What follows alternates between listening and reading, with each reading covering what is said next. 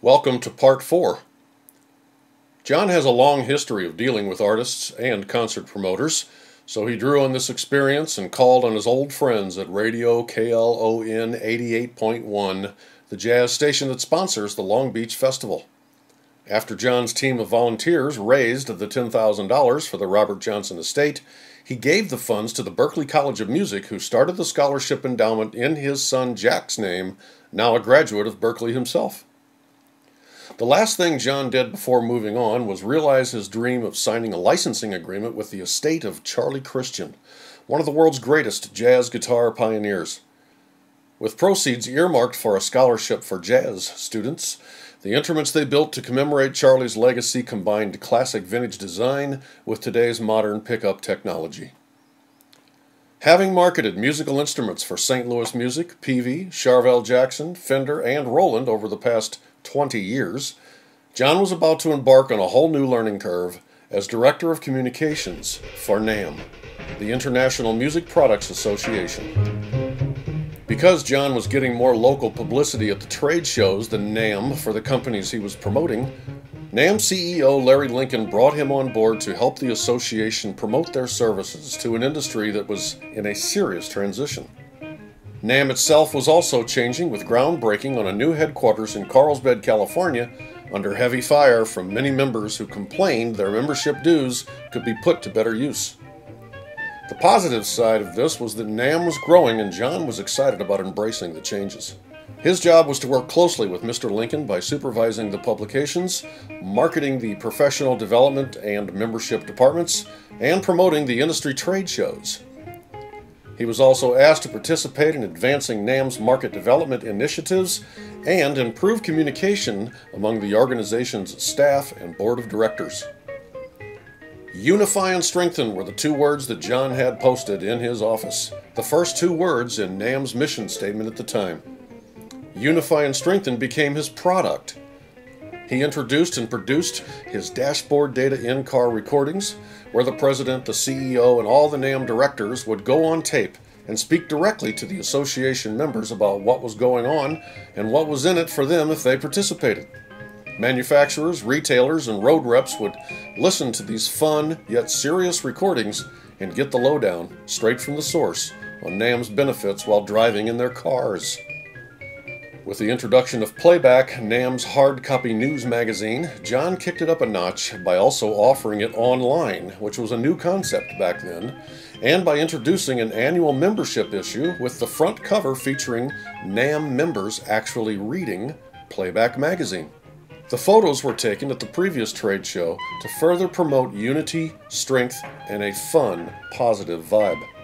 Playback is also where John would write about NAMM's services, partners, grassroots initiatives, and collaborations like Weekend Warriors, New Horizons, American Music Conference, the Children's Television Workshop, MENC, NAMM University, VH1 Save the Music, and scientific research promoting making music makes you smarter. He used NAMM sponsored trade show concerts as a forum to get dealers thinking about reaching out to new markets by showcasing jazz Latin groups and their equipment one year, pedal steel groups the next, horn based swing groups the next, even record scratchers and computer music makers. All markets that could be out of the dealer's mainstream frame of reference, but all with money making potential. He solidified his already strong relationship with the industry trade magazine editors and owners, staying close to them and working with them, urging a positive perspective on industry news. He even saw the on hold recording as an opportunity to raise a smile and sell a benefit by writing the messages in rhyme and setting it to music, then bringing in musicians to sing the words in clever little jingles. This was an idea that was recognized by the American Society of Association Executives, who added NAMM to their Advance America Honor Roll because they said this and dashboard data was something completely new and that all their members should try. John was responsible for the collection of industry sales data from Music Trades magazine and for the design and production of NAMM's annual industry statistics publication, which would also include results from a Gallup survey featuring age and gender profiles, instrument choices, and attitudes and thoughts about music education. When NAMM had to move their winter trade show from Anaheim, the industry's comfort zone, to Los Angeles while Anaheim renovated, the screams of anger that came in from the membership was like an unruly mob. Cries of displeasure were in the letters to the editors, threats of boycott were in the air, and early show registration numbers were already in the dumpster. This was not a good thing because NAMM produces their own trade shows, and the profits are used to help fuel the market development programs that keep the business growing. As communication director, John's department was charged with selling the membership on the fact that LA was just as safe, just as convenient, and just as much fun as Anaheim, the happiest place on earth. The image they created was all about sun, fun, and California cool, capitalizing on the groovy car culture, the glitzy movie industry, the spacious and beautiful LA Convention Center, the superstar musicians who live right there in the neighborhood. John also produced a dashboard data featuring actual interviews with the mayor of LA, the Los Angeles Tourist Bureau, and the LA Chief of Police, who compared LA's relatively low crime rate to other cities, including Anaheim. John then convinced the legendary manufacturer Hartley Peavey, NAMM critic and hero of the independent retailer, to go on record by asking his staunch followers to attend the show. This was done through advertorial testimonials that appeared in playback and in all the industry trade magazines. What was the end result? After the show, in the very next issue of Musical Merchandise Review, it was written that NAMM's promotion attracted a registered attendance in excess of 63,000.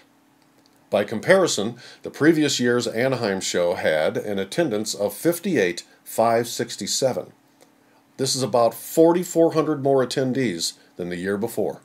One of the largest NAMM shows in the association's 100 year history. Speaking of 100 years, John was also charged with putting together a promotion package for NAMM's 100th anniversary. Of course, he helped create the usual coffee table book and trade press releases, but he also went much further, convincing 100 manufacturers of every conceivable musical instrument to make a limited run of 100 custom products. They were then licensed a special gold century medallion to be embedded into these instruments and issued certification papers to add value. The initial prototypes were displayed in Nashville at the Country Music Hall of Fame and auctioned off with the proceeds going to music education in the local community. The announcement and details were launched in playback and through dashboard data, and number 100 of each instrument was donated to the new NAMM sponsored Museum of Making Music. The Museum of Making Music was another controversial industry issue, an initiative that was put before the board for funding when the new NAMM headquarters building was completed. Some of the board members were not at all on board, and John was asked to research the NAMM archives and put together a presentation that would convince the naysayers to okay the money. Drawing on his 20 years as a producer of trade show exhibits and sales meeting presentations, John unveiled a multimedia production with period music and vintage photos that put them on the floor, resulting in a unanimous yes vote, opening the door to what is now an important and vital music industry education resource. Because the museum had very little instruments to show at their opening, John also loaned over $30,000 worth of his own classic instruments, which are still on display today. To help create goodwill about NAMM at the trade shows, John also founded the first official trad jazz band comprised of only NAMM staff members called the NAMM Staff Notes. This was a fun loving bunch who played at various association dinners free of charge, using the gig as an opportunity to talk about NAMM member benefits. He would also present words of inspiration at the international dinner to groups like the Piano Association and to NAMBI his favorite, which was the NAMM sponsored group for young, aspiring college students who wanted to get into the business. Here, John shows the kids the most common question they will hear during their career if they don't do their homework. During the trade shows, John's crew ran the press room, They registered and collaborated with reporters, scheduled press conferences, and covered important meetings and events as they unfolded. One of his best dashboard data productions was a CD and booklet set that analyzed the average out of pocket cost for going to a trade show, along with an annual return on that investment.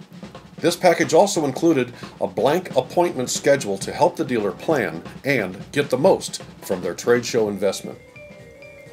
John spent four years as NAMM's Director of Communication and during that time reinvented himself and made the transition from selling widgets to selling unity.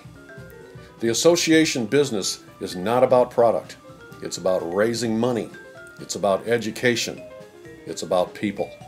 With the untimely passing of his father, John was put in a position of having to move to St. Louis and deal with about a year's worth of estate tangles. Once completed, he received a call from Bill Everett, CEO of Brook Mays Music, 60 school music stores, where he had to reinvent himself again, this time as VP of Marketing in the brave new world of chain store merchandising, mass media buying, rental drive programs, and school music education.